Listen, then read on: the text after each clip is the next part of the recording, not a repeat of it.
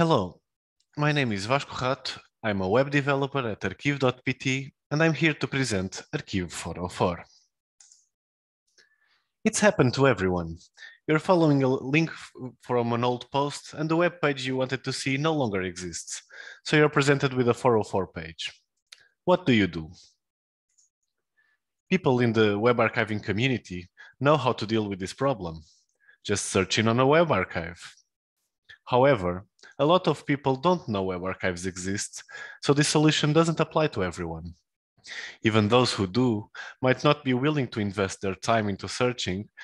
If it's not one click away, most people won't bother. Additionally, there are many web archives we could search. We might not find it on our favorite web archive when it's available elsewhere.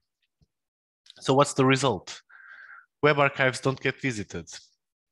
Maybe this process could, could be automated.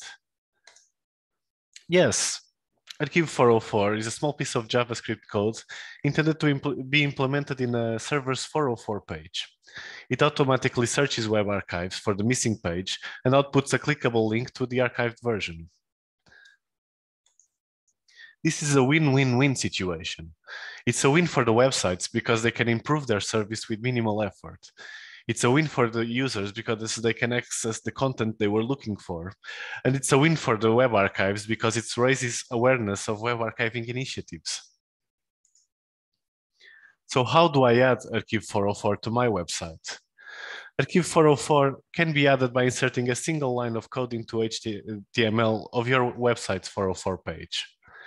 It allows for customized messages and behaviors. You can check the full documentation on arquivo.pt slash arquivo404. How does Arquivo404 work? The script runs in the uh, soft 404 page and it sends the current URL to a web archive like arquivo.pt. The web archive replies with a list of archived versions of the URL then the script uh, picks the oldest version available and adds a link to the archived version. Arquivo 404 uses the time map defined by the Memento protocol to search for the missing web page. It can be configured for any web archive to be used, as long as they are compliant with Memento. The Arquivo 404 project is, a, is free to use and the source code is available on our GitHub page. Any suggestions on how to improve it are welcome. So stop having broken links on your website, help promote web archives and use Arquivo 404. Thank you.